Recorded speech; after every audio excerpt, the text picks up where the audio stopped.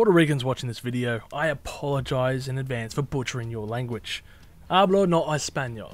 Hi people and hello my Chili con Carnage crew, it's Chili here, the man who produces Iron from My Eyes, doing a 5 minute review on Puya's newest album, Potencial. I have to thank Hector from Chill Dude on the Couch for introducing me to this band, as we discussed them of course on an episode of Live Listen Erased. Otherwise, I would have continued living my life, otherwise I would have continued living my life of never hearing about this awesome band from Puerto Rico, and what an interesting story they have. We will cover this a bit, but first let's talk about the music. I don't get to say this often about albums, but this record felt like an epic journey. Granted, this journey was not your Lord of the Rings trilogy kind of epic in duration, but more like the episode of South Park in regards to Make Love Not Warcraft, as I guess if you don't know the video game, then the album may as well be speaking in a different language. Just like Puya does. However, just because you don't know of the game doesn't mean that the episode isn't fun to enjoy, and this is the case with Puya too. Sure, they don't sing in English, but god damn it does this music just kick ass. Now, I certainly love listening to Rammstein, so I can overlook a language barrier for the sake of music. It's particularly easier given that I am also a groove junkie, and these tunes go harder than an AI generated OnlyFans account. I'm not overly familiar with the band's history, but Hector did mention that they were at the same festival in 1999 along with Black Sabbath, Slipknot, Deftones, Rob Zombie, System of a Down, and. Ugh, Godsmack.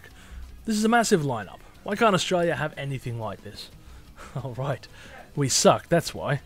Well, maybe now that the American touring visas have increased by 60%, there might be more incentive for bands like Puya to come to Australia and tour more often. Puya, you are more than welcome to come and visit the land down under. Now, this album is the first in over a decade from the band camp, and is a very, very short affair, being less than 30 minutes. And of course, I can get why fans who waited this long would be pissed. But the way I see it, this is the band focusing on better songs rather than adding too much filler or crap that would devalue the record excluding, I guess, the intro and outro song. Admittedly, this album has shifted a few gears from their debut record, which is all that I'm really aware of, but the brutal heaviness on Falling Illusion is a great way to kick into gear. I like the salsa and metal energy found on Machete, on Machete, on Machete Garabato, as it swings like a pendulum between funky and metal so seamlessly. This album reminds me so hard of early Soulfly, not really Sepultura as many would mention, and yes, I am aware, of course, of the Cavalera connection. I'm just pointing out the differences between these two bands, and the parallels, of course, to Puya. Yes, there are more traditional instruments used, but it's not as deeply rooted as that experimental sound. You get what I bloody well mean? It exists as an element of the record, and it is a very fun element. Maybe this review is a bit short, but then again, this album is a very short play. I still enjoyed it from start to finish, and even though there might be faults with it in regards to, you know, previous songs being used and brought in for this one, but I still found myself really enjoying the record and what it had, that overall vibe.